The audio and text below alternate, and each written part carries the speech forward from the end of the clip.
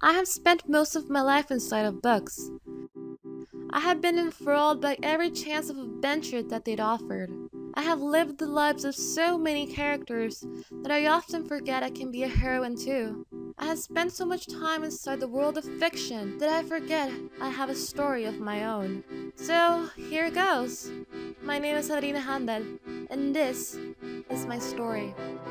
As of now, I'm a 17 year old teenager living in San Pedro Sula, Honduras.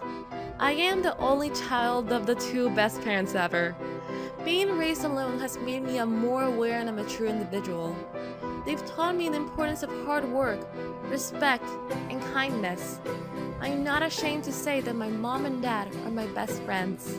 I take friendship really seriously. I am fortunate enough to have some pretty amazing friends by my side everywhere that I go. They bring true happiness into my life, and for that I will be eternally grateful.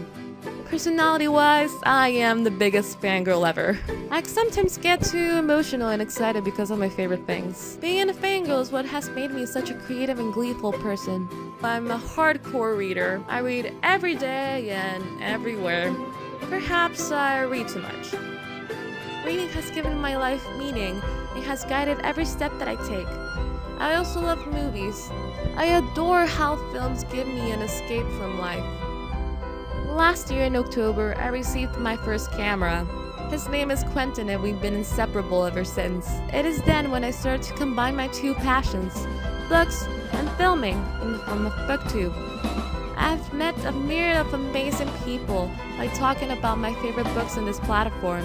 I also love the idea that I get to spread my passion for literature across the world.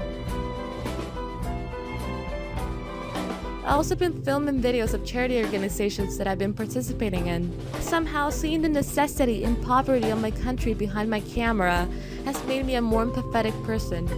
It has opened my mind as it were a lens.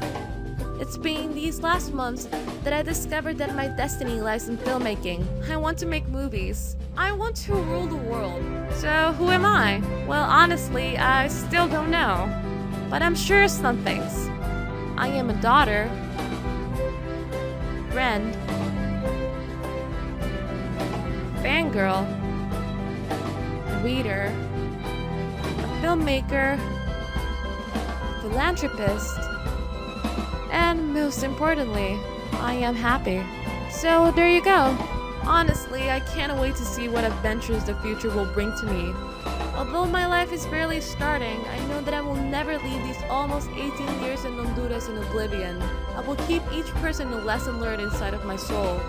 This story is just beginning, but so far, this is where this chapter ends.